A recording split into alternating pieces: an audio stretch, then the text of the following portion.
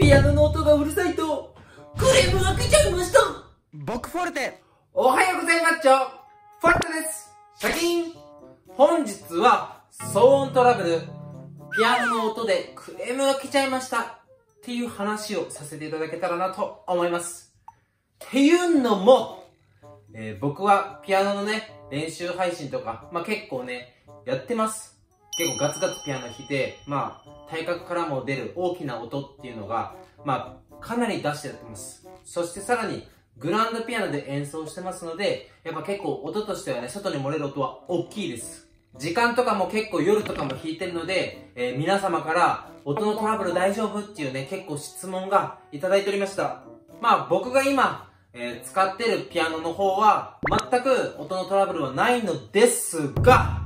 僕、愛媛にね、大学生だった時、愛媛県で住んでて、で、その愛媛県のマンションの中に、えー、ピアノを持ち込んでました。その時にトラブルが来た話についてさせてもらえたらなと思います。まず僕は大学生になった時、グランドピアノを一緒に持っていきたいと思ってました。理由としてはやっぱ上手になりたいっていうのもあったし、やっぱもっともっとピアノをやりたいっていうのもあったので、まあグランドピアノを持っていこうとしたのですが、愛媛というね、田舎にはピアノをね、持ち込んでいいっていう物件がなかなかなく、で、都会のように防音設備の整ったマンションっていうのが本当に基本的にないです。あ、あったあったあったと思ったら、女性専用のマンションでした。みたいな感じでね、結構悲しいことがあったのですが、かなりね、あの、ピアノの愛媛の先生方とか協力していただき、不動産の方とかも協力していただき、新築の鉄筋コンクリートで作ったマンションだったら、グランドピアノ大丈夫じゃないかと、大家さんに掛け合ってくれて、交渉した後に、グランドピアノ、いいですよって言われたので、ありがとうございますっていうので、トラックでグランドピアノを運んで、そのマンションに住みました。えー、他のマンションだとやっぱり音とか、やっぱ壁の薄さとかっていうので結構厳しいんじゃないかと言われてたので、その中のマンションでも選んでくださった不動産の方が選んでくれた物件がよく車が通る。そして病院の近くでピーポーピーポーなる。結構ね、音としては大きい音が良くなる場所のマンションに決定しました。そして大家さんともね、あ、お願いありがとうございますっていう話をして、えー、まあ何十万もかけてピアノ運んだんです。ピアノ運ぶのってすごいお金かかるからね。で、まあ、そこに住んだんですけども、まさかの、処理時早速、クレームが入ってしまいました。えもしもし、はい。あ、不動産のものなんですけども、あの、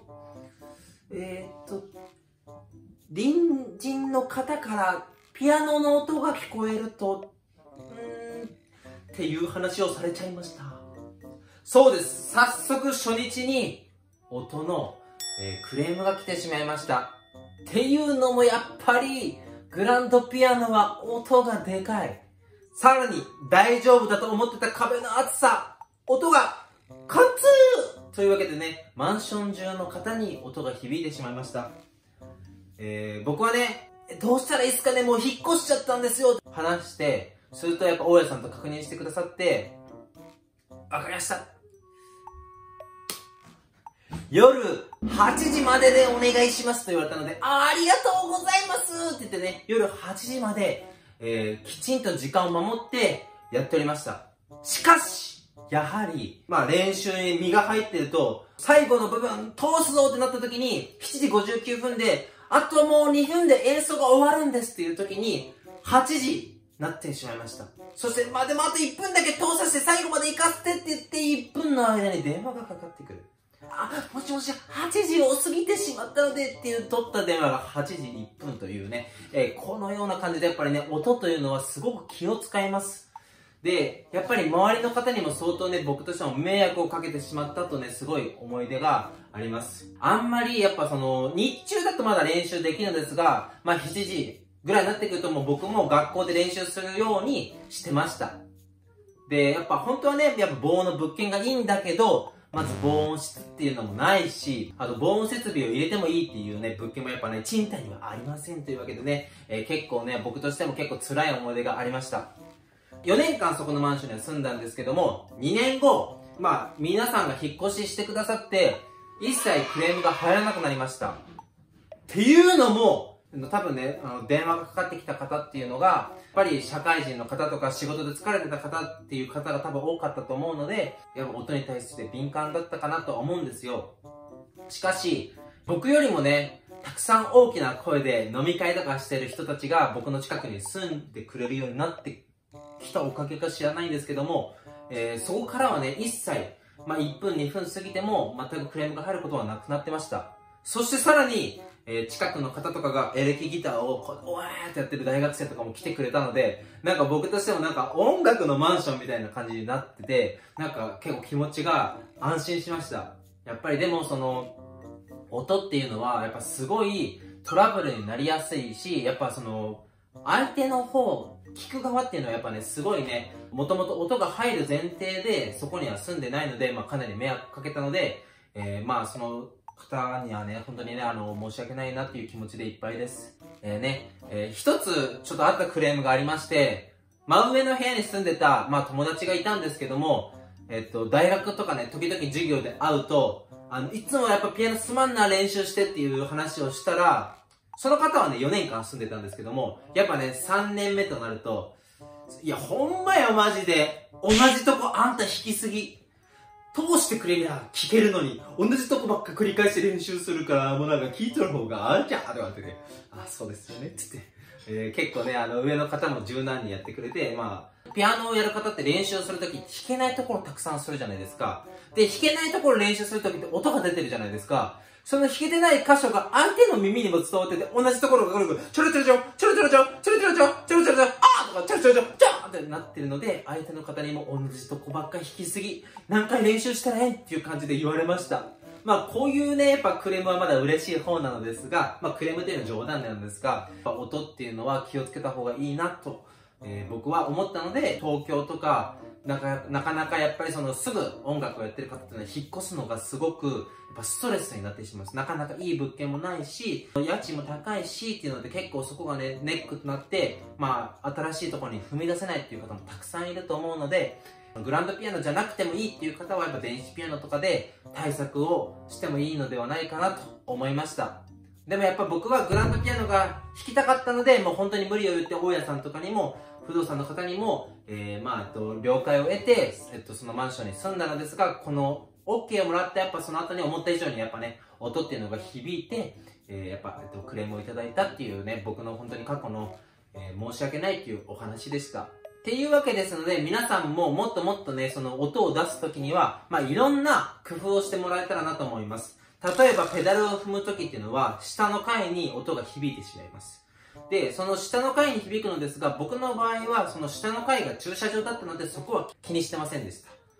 で、やっぱり僕としても音をそのまんまダイレクトに出すと絶対バーって広がるので、絶対常に蓋は閉めてましたし、ピアノの上にもちょっとね、ガチで練習するときは、えー、なんかちょっと布とかを置いてました。そして、やっぱカーテンも、えー、二重カーテンって言ってね、結構ごついカーテンを2個並べて、えー、少しでも音が漏れないように一応気をつけてました。だけど、やっぱり普通のマンション、そしてごつめに作られた鉄筋コンクリートとか、まあ、ガチなマンションとかでも、やっぱ音っていうのは、まあ、すぐ響きます。で、音が聞こえるっていうよりも、えっと、相手の方の方には、振動で結構伝わってくるんですよ、ドロロロって。そういうのが結構やっぱそのね、ストレスになってしまったりとか、疲れてお昼寝しようとしたのになんか聞こえるやんとかなったら、やっぱね、僕としてもすごい申し訳ないし、やっぱ相手の方も嫌な思いをするので、まあ、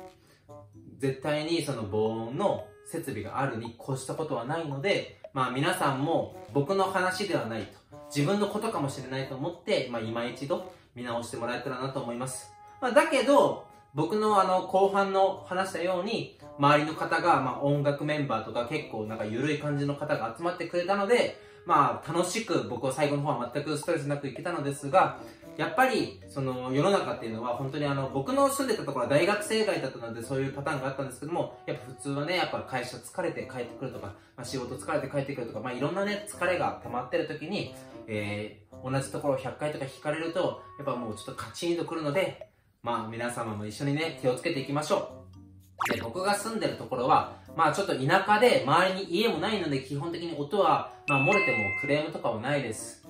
で、やっぱり僕がなんで防音してるかっていうと、やっぱその、